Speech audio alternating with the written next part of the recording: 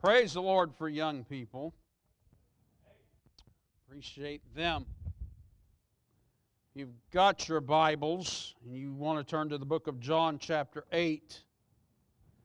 John, chapter 8, verse 36. I want to say a special thank you. You really don't know uh, or don't see a lot of times the work that Addison puts into the stuff that goes up on the screen. I have heard many a scream as she's up there working on it and the screen goes black or blank, and uh, I've heard the frustration in her voice. She is OCD about what goes up here on the screen, and she's very meticulous, and I think she does a great job with our videos and, and things that she does. I want to say thank you for that. And the reason I say that is I, about five minutes ago, said, Hey, can you find the pledges and put them up on the screen for me? And she always gives me that deer in the headlights look and says, Okay, Dad, let me see what I can do. And, uh, and she made that happen here in about five minutes, five minutes ago. So thank you, Addie, for that. I do appreciate your work and what you do. John chapter 8 and verse 36, one verse this morning. John chapter 8, verse 36. One verse. If the Son, therefore, shall make you free,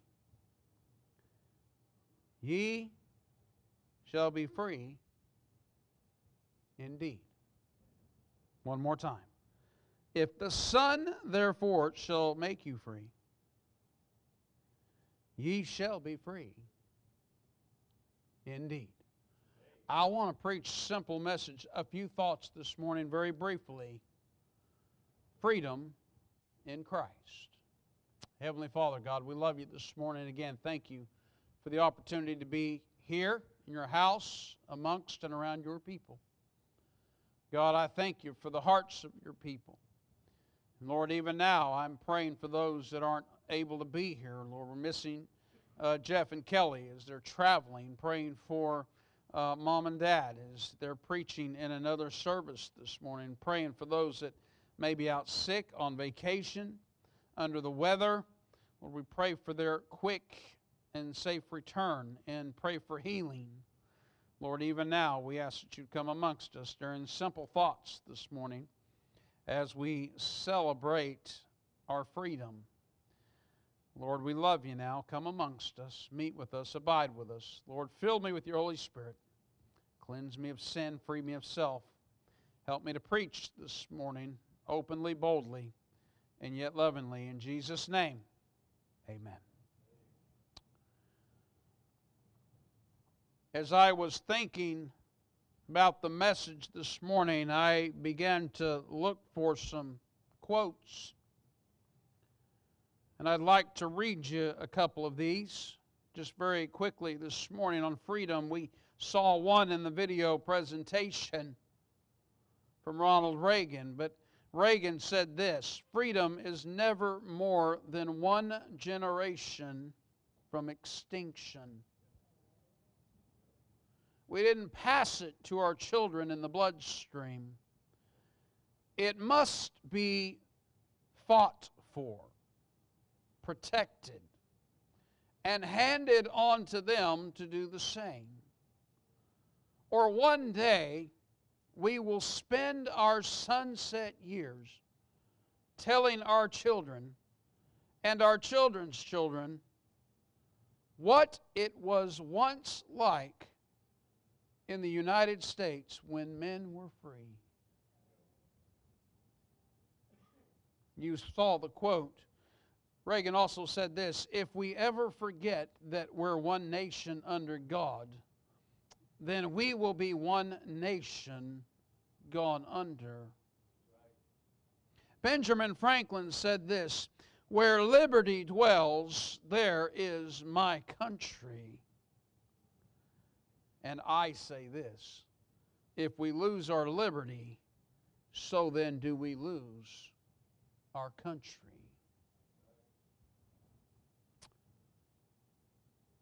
Freedom must be fought for and protected. I learned many years ago, young in my ministry, that for everything physical, there is a spiritual. Everything spiritual, there is a physical. I understand that this is the 4th of July. I understand the festivities. I I like to shoot fireworks. I was a little disappointed this year that with the burn ban that we couldn't blow anything up this year. Some of my fondest memories my oldest daughter, Dallas, thought it would be a great idea to go buy one of these 58 shot things, you know, one time. And um, when she was still living at home and all the kids were around us, and Cat, this is not a fond memory for Cash at all. He has nightmares. And set this thing up, and uh, we had a gravel driveway and she didn't secure the box. Y'all know where I'm going with this, right? And uh, lit the thing, and we're all standing around. And the first one went off, and when it did, it popped it up on top of a rock. And the second one went off, and next thing you know, it went back this way. And there's nothing like the smell of napalm at 9:30 in the at night, you know. And we started running and I mean, these things were aiming at us and hitting us, and, and, I mean, it was they were aiming at us, and we're running, and it's going underneath cars and blowing up, and these are. And uh, I remember I grabbed Cash was just a little guy then, and I grabbed Cash. I want you to know he's alive today because of me. I grabbed him. I little did I know that one like blew up right on his shoulder. I mean, it hit it, burned him, hit him. He, I think he still got a little burn back there somewhere. And uh, I grabbed him, pulled him aside, and we were all diving and ducking. And when it was all over, those were good times. Amen. I mean, it was all done. We just kind of laughed it off and said, let's fire up another one. Amen.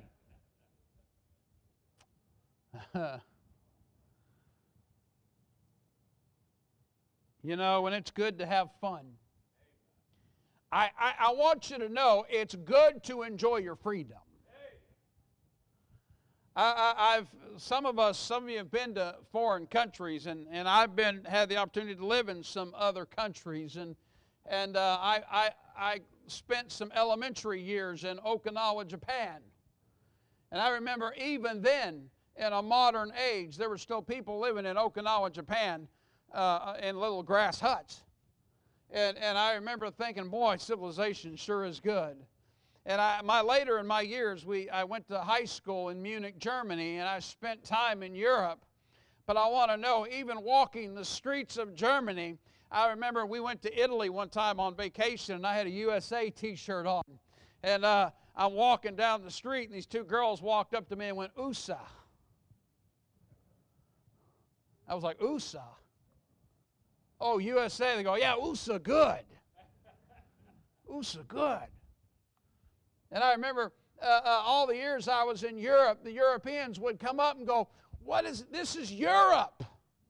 This is not a third world country. This is Europe. This is Germany, Austria, Italy. They'd walk up and go, What is it like to live in America? What is it like to be an American. And then later, uh, we would go on a missionary trip to Africa, and I would watch people drinking out of the river full of disease, living and being able to walk around with Africans whose, whose average lifespan wasn't much more than about 35 to 40 years old. Where people would walk up to my dad and look at his gray hair. My dad was treated almost, uh, almost godlike, and I know he wasn't a god, but because people don't live that long in Africa.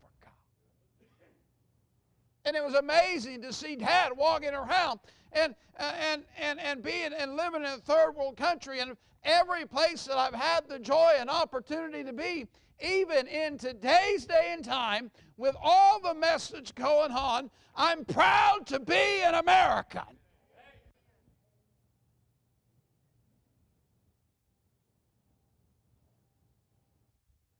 Just don't want to get real political, but I just, I like my cars. Come on, I've seen what some of y'all drive. Randy likes his motorcycles. Revival fixing to break out here in a few areas, okay? Larry likes his burnt orange Texas Longhorn truck. Amen. I'm not being funny. I'm just telling you, there are some places in the world you wouldn't think that in today's day and age it's that way. There are some places in the world they don't have air conditioning. And even with only two out of three working here in the auditorium, it still feels good. There are people having church in third world countries in Africa. And I remember when I went to Africa, people would start walking, walking a week and a half out, walking through jungles, through snakes, through lions, through heat, with no food. They'd walk a week and a half to sit on the ground and hear preaching. Sit for three days of preaching and then turn around and walk a week and a half back and here in the United States of America, we can't even fill the church house.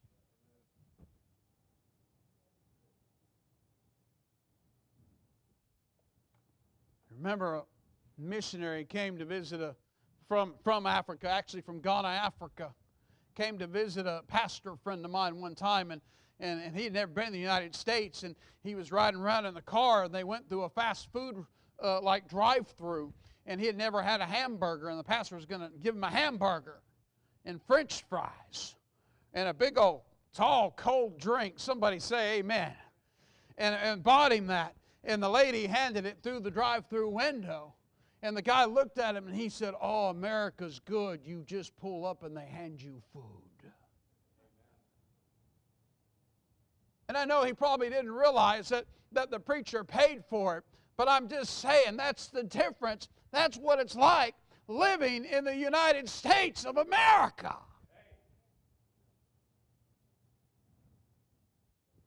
We are a spoiled, rotten people.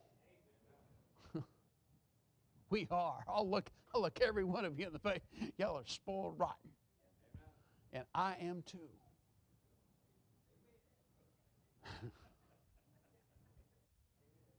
yeah.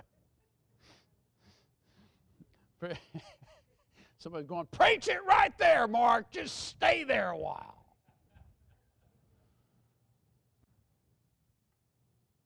We have our houses and our home, our cars, and stuff 75 inch flat screen TVs, satellite, cell phone, swimming pool swimming pools, movie stars. I see these movie stars and their trials on TV, bunch of spoiled brats.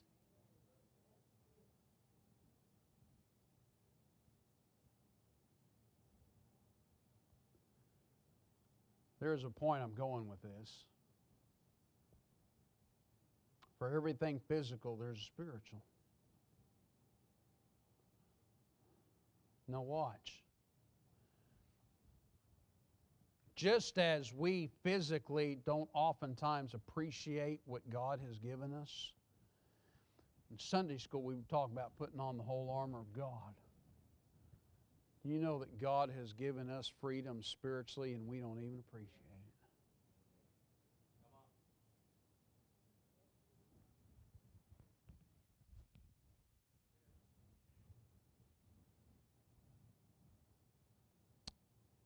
Do we, do we even care that Jesus died on the cross for our sins? The freedoms that He's given us spiritually. And yet, sometimes I think we as Christians, we're just a bunch of spoiled, rotten, bratty Christians. Do you, do you, I'm, I'm chasing a rabbit here, just really, I may not even get to my outline. Do you have any idea that you're holding the very breath of God in your lap? The breath of God, the words of God, things that came out of God's mouth. right here. And yet we'll say amen today, close this book, and just go throw it in a pew.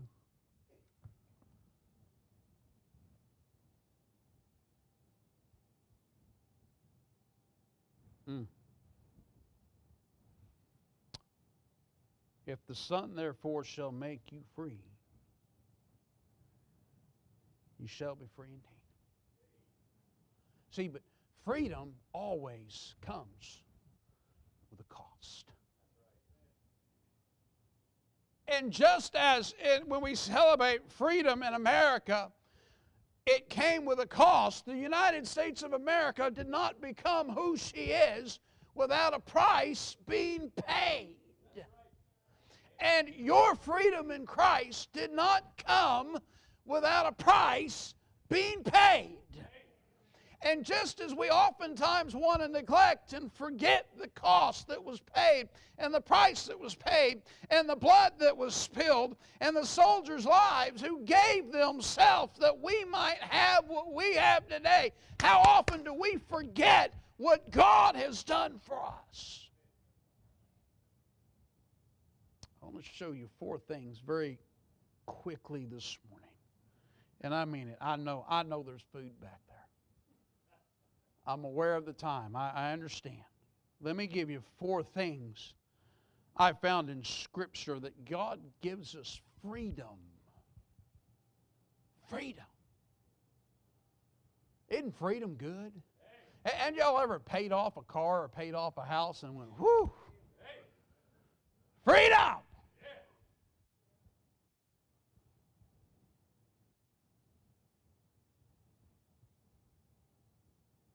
I want you to see the first one, Galatians, and you can write this down. I'm going to give you a lot of scriptures, so if you're taking notes, you might want to write it down. But I'm going to move very quickly. You can try to turn there if you want to, but I'm probably going to be gone to the next point by the time you get there. But but just stay with me. Galatians chapter 5 verse 1 says, "Stand fast therefore in the liberty wherewith Christ hath made us free, and be not entangled again with the yoke of bondage. Do we understand that Christ, when he died on the cross, allows us to be free from sin? No, we don't have to sin. It's, it's not that Christ didn't pay the price or didn't make a way for us to be free from sin. It's we ourselves who dabble in sin. And the closer that we get to Christ and the more that we walk with Christ, the further we get away from sin. So when we're dabbling in sin, and by the way, we're all sinners, we're all guilty, we've all fallen. So it's not that because we accepted Christ that suddenly we're without sin, but I need you to understand we do have the ability to be free from sin. And I praise God that one day we're all going to stand before God in His throne room. And I love this because everybody's going to stand in that judgment hall. We're all going to have to look God in the face. And God's going to look at us and He's going to basically pull the evidence out. And the, and, some, and the devil's going to be standing there and go, He's a sinner. He deserves hell. And some people, God's going to say, You're right. Depart from me. Praise God through the blood of Jesus Christ. One day I'm going to stand before God and the devil's going to say, He's guilty. But God's going to say, Yeah, but I see the blood. And it covers his sin. The price has been paid. He's free.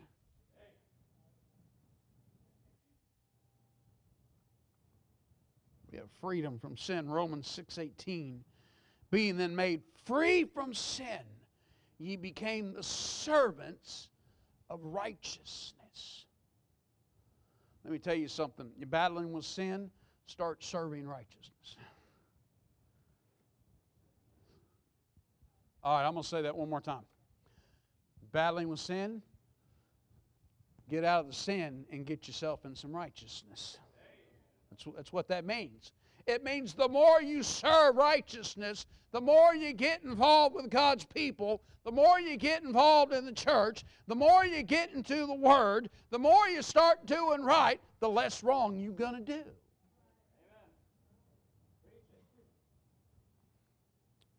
Number two, gives us freedom from sin. I want you to see 2 Corinthians chapter 3 verse 17. Now the Lord is that spirit, and where the spirit of the Lord is, there is liberty. I'm talking about we have freedom in the Holy Spirit. I got to go through these real quick. I want to show you a couple things. Number one, uh, John 14, 26 says, But the Comforter, which is the Holy Ghost from the Father, will send in my name. He shall teach you all things and bring all things to your remembrance whatsoever I have said unto you. But the Comforter, I want you to note the Holy Spirit comforts us. Do you know that there's comfort when you're free? Oh, I'm just telling y'all, some of y'all, I love these people that go around and I'm not being ugly, but wave flags of other countries in the United States of America. I'm like, if you're so proud of that flag, why don't you go back? You want to know why you're not going back? Because it's more comfortable here. And I just feel like if you're comfortable here and you love the country so much, wave this flag.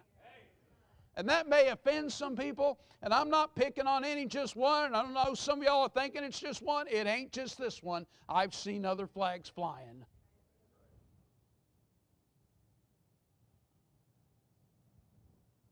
Do you know that it's against the law to burn a rainbow flag? It's a hate crime. But you can burn an American flag.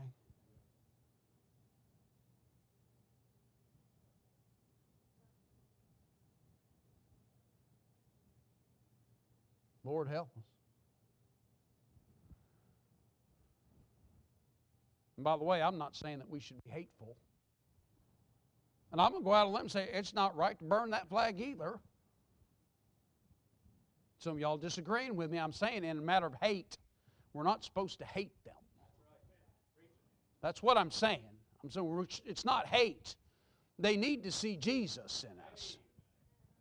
That's what I'm saying. I know some of y'all hesitated, like, what? I'm just saying, you know, part of the reason we can't reach them is our attitude.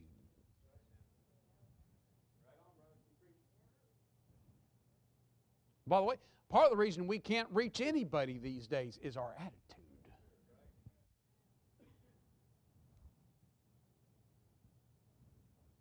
I could park there a while, but I need to move on. Holy Spirit comforts us. Romans 8 26. I love this. this is one of my favorite verses in all Scripture. Romans 8 26. Likewise, the Spirit also helpeth our infirmities. For we know not what we should pray for as we ought. But the Spirit itself maketh intercession for us with groanings which cannot be uttered. I wonder how many times any of us, we, we say these rub a dub dub, bless the grub prayers and we don't understand why we can't get our prayers answered. And I've done this many times. I've, I've, I've gone to God and said, God, I don't even know how to pray. I don't even know what to say. I don't even know what to feel. I don't know how to go through this. And there's been a time or two in my life when I said, Oh, Holy Spirit, go to God on my behalf because you're the comforter. You're the one who empowers. Pray for me. You know, the Holy Spirit can go to God on your behalf. You know that Jesus can go to God on your behalf.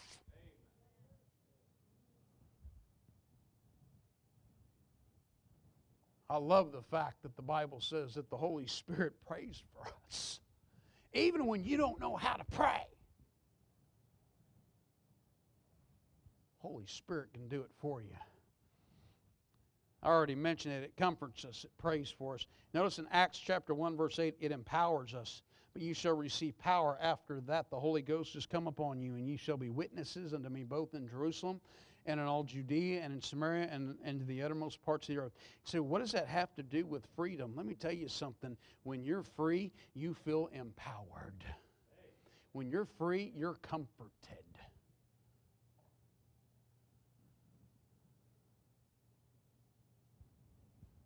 Mm. I got to hurry. Third one, we see the freedom from sin. We see the freedom in the spirit. You know, we have the freedom to serve. 1 Peter chapter 2, verse 16. As free and not using your liberty for a cloak of maliciousness, but as the servants of God. Now, watch. I was thinking of this. Give, and it shall be given unto you. Right? Tis more blessed to give than to receive. I never understood that verse. I'm going to be honest with you. I've been in the ministry going on now about 25 years. And about 20 of those years, I never understood that verse. Tis more blessed to give than to receive. Pooey. Never understood it. I like getting gifts. Somebody said, Man, you got a lot of kids. I know I get a lot of gifts. One of the many reasons we had them. So I can get a lot of birthday gifts. Because it's good to get a gift. I like getting gifts. Stay with me. Y'all don't like getting gifts? Especially when they have dollar signs in front of them.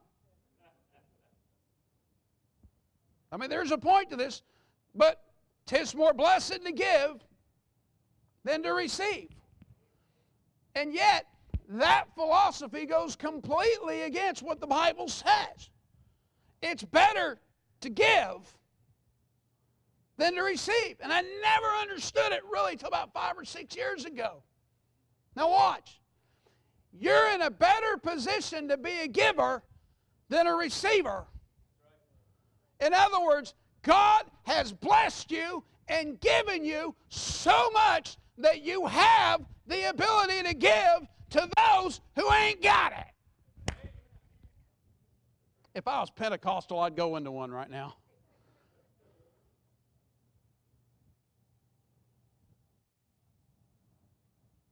That's why the Bible says God loveth a cheerful giver.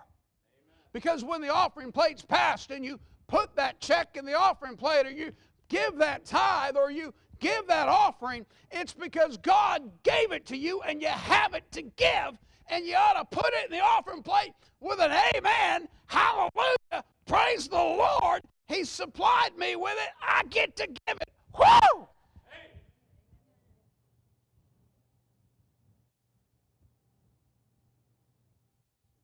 Here's that verse in the Bible that says if you got two coats, you're supposed to give one of them away. You want to know what that means? It means that in Bible days, you were rich if you had two coats. The fact that God gave you one and you had an extra one to even be able to give away said a lot. Again, I'm going back to this whole thing. We're spoiled.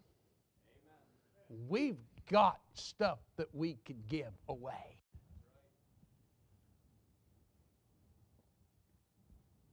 Everybody okay?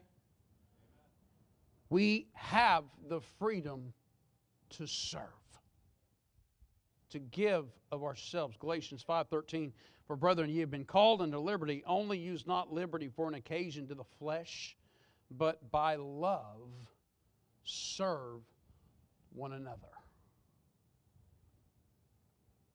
Acts 20, 35, I have showed you all things, how that so laboring ye ought to support the weak, and to remember the words of the Lord Jesus, how he said, It is more blessed to give than to receive.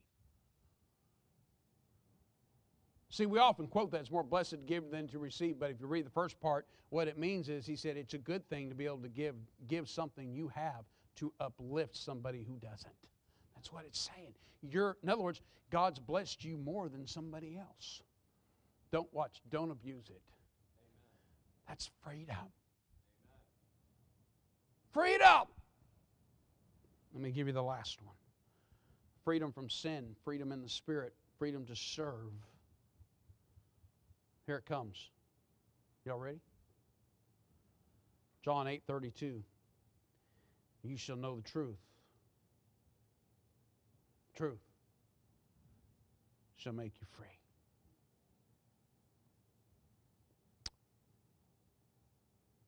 You know that we have the freedom to get up every morning and open up the Word of God. The truth. Here's the truth. Here, here's what baffles me in America today, and I'm, I'm done with this. We have truth. We know truth. We see the truth. We hear the truth. And yet we don't accept the truth.